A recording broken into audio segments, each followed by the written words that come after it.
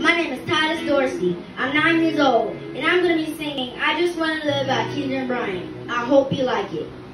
I'm a young black man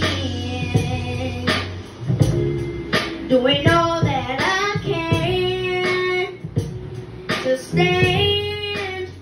Oh, but when I look around and I see what's being done